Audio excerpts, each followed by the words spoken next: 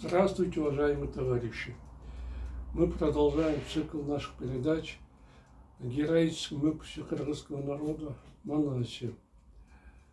Раньше я вам рассказывал о том, что мною на основе варианта сказителя Сагымбаева Розбакова написан пятитомный роман «Манас в прозе» на кыргызском языке. Вот эти они, эти книги. Затем я все эти книги провел через экспертизу Академии образования, Министерства образования Кыргызской Республики. И в настоящий момент все эти книги включены в школьную программу в качестве дополнительного учебного пособия при изучении эпоса Манаса. Далее, чтобы школьникам было легче освоить эпос, я разработал две рабочие тетрадки для 8 и 11 классов по эпосу Манас. Они также в настоящее время включены в школьную программу. Сейчас я работаю над второй частью трилогии Манас Симитеем. Мною закончен первый том данного произведения. И в настоящее время идет работа над вторым томом. Дальше, чтобы еще больше популяризировать эпос, я свой пятитомный роман «Монас» перевел на русский язык. И оба этих варианта включил э, в свой интернет-сайт epos-manas.com и выставил там для продажи. Кто хочет, тут может там приобрести мои романы. Для того, чтобы еще больше распространить эпос, я сейчас в течение нескольких месяцев выпускаю видеоролики на кыргызском и русском языках и рассказываю об эпосе и читаю отрывки своих романов. Э, мои субтитры на русском языке сопровождаются на субтитрами, где ролик сопровождает субтитрами на 112 языках мира. Это значит, что теперь каждый житель нашей земли может познакомиться с романом на родном языке или языке наиболее доступном ему. Поэтому у меня к вам просьба сообщить об этих видеороликах своим родственникам, друзьям, знакомым, близким, проживающим в странах ближнего и дальнего зарубежья. Тем самым вы внесете свой посильный вклад в дело распространения эпоса Манаса. Ну, это, это пока все, что я хотел сказать о своем романе и эпосе. Ну, а теперь, с вашего позволения, я продолжу чтение своего романа. Рискнув, Алмамбет отправился на юг и увидел вдалеке долину. Направившись туда, богатырь дошел до небольшого озера. В его прозрачной воде водились все виды водных птиц. Среди них была и пескливая пигалица, хозяйка болотистых мест, летающая с громким звуком. Если другие птицы избегают, избегают человека, пигалица, наоборот, нападает на него – это давняя их привычка. Одна из пигалиц смело атаковала Алмамбета. Как он ни старался, никак не мог избавиться от нее. Алмамбет, без того обиженный на близких, расстроенный неудачами и измученный трудной, дальней дорогой, зло обратился к пигалице. «Перестань шуметь», — сказал он. Ты единственная из птиц, созданная для знойной, бесплодной пустыни. а я единственный из людей родился у бессердечного народа. Не кричи, никто не собирается уничтожить твое гнездо. Я сам еле хожу живой. И если умру здесь, никто не будет меня искать. У меня нет не то что скота, а даже собаки. Всей живностью у меня имеется только лошадь, которой езжу. Кроме этого, у меня есть жалоба, которую я могу высказать Богу. Поэтому не преграждай путь, не зевайся, как кукчо над моим одиночеством. Едва успел он закончить эти слова, как пигалец, словно издеваясь, атаковал его. Алмамбет, еле задержавшись на ногах от голода, пришел в ярость. Проклятый мир, подумал он печально. Кем я был, кем стал? Я был сыном Сурамдука, владевшего одним из самых больших ханств Китая. Затем сам стал ханом. По иронии судьбы, я лишился всего и теперь хожу в полном одиночестве. Посчитав врагом, отец выгнал меня. Казахи, которым я доверял, пытались убить. А теперь добавок какая-то пигалица, несмотря на увещевание, нападает на меня. Хотя она птичка, видимо, поняла, что меня нет ничего, сам я никто.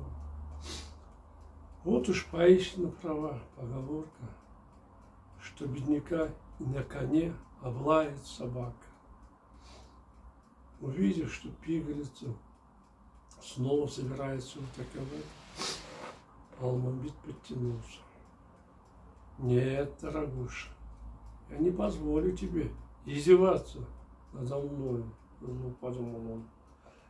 Я не мог противостоять Кукчо и казахам. Но с тобой справлюсь. Я убью тебя, проучу за наглость.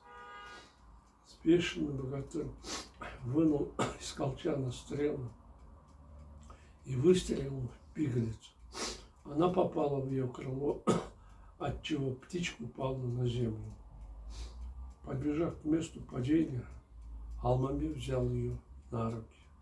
Сначала от злости он хотел убить ее, но, увидев ее печальный вид, пожалел пигалицу. Ты посмотри на ее поступок, покачал головой богатырь. Зачем она напала на меня, будучи такой маленькой? Какой целью пигалица это сделала? Почему она не делала то, что ей под силу? Бедная пигалица оказалась в моем положении. Вспомни прошлое, богатырь тяжко вздохнул. Да, с пигалицей произошло то, что и со мной с горечью подумал Алмамбет. Возможно, мне тоже надо было делать то, что положено. Прижать хвост, взять ханство отца и править согласно законам нашим народом. Или почему я не стал управлять казахами по их традициям? Почему не старался разбогатеть? и не стал брать взятки у людей. Почему выпендривался, старался быть честным. Никто не оценил мои труды. В результате, вместо того, чтобы быть богатым счастливым, я брожу здесь в одиночестве. Что говорить, если даже пигалица, не признавая меня, бросилась вот так? это я убью ее. Это играет за все обиды. Немного подумав, Алмамбет отказался от своего намерения. Нет, решил богатырь, я человек, царь природы. Она слабая, глупая, глупая птичка. Не годится мне порыве злости убивать ее за то, что она напала на меня. Сделаю добро, перевяжу крыло и отпущу ее домой. Пигалице было перебито крыло, и она еле дышала, увидев огромные глаза, маленькие, как перепелка, птички. Алмамбет стал укорять ее. «Эй, пигалица!» – сокрушенно проговорил богатырь. «Почему ты, не рассчитав силы, напала на человека? А теперь ты наверняка жалеешь об этом находишься при смерти. Я предупреждал, чтобы не лезла на меня. Ты не послушался и преградила мне дорогу. Я был вынужден заступить тебя. Как и ты, не измерив силы, я присоединился к казахам. А теперь стал беглецом, надев шубу смерти. Но мне жалко тебя. Сейчас перевяжу крыло и отпущу тебя. После этого не нападай на безвинных. Всегда следуем, следуем своей дорогой. Алмамед вытащил из кармана лекарство, протер им рану птички и расправил перебитое крыло. Взяв алтайский красный шелк, он осторожно перевязал крыло. Теперь найди свой дом.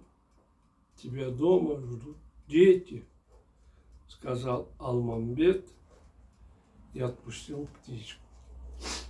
То место, где он отпустил пигалицу, сейчас называется долиной Акармена, перевалом Ашмары. Глядя в сторону, куда улетела пигалица, Алмамед внезапно на перевале у Томульнук увидел Манаса на Акуле. Когда китайский богатырь вышел из острова, напялив на себя оружие из чистого золота, Манас так заметил его. Если вокруг нет никаких животных, кроме архаров, никто здесь не пасет скот, откуда взялся этот незнакомый богатырь? Удивленно подумал кровопийца. Приглядевшись к незнакомцу, он заметил, что огромный, как гора, имеющий царскую осанку, мужественный, похожий на хана, 28-летний Алмамбет восседает на лошади, заметно отличающейся от других животных. Понял, что запросто может опрокинуть любого человека, Манас подумал про себя. Бог дал мне верный знак. Наверное, это и есть приснившийся мне меч, товарищ, Лев Алмамбет. Если это не он, то кто же это? Такой видный, статный жигит может быть только Алмамбетом. С этими мыслями Манас повернулся обратно и вошел во впадину. Скача на коне, богатырь дал оценку внешности китайца. То, что Алмамбет осторожный, мудрый человек, видно по его лицу, подумал Манас. Он широкогрудый, широкоплечий богатырь, который в состоянии одолеть всех встречных и поразить всех своим мужеством.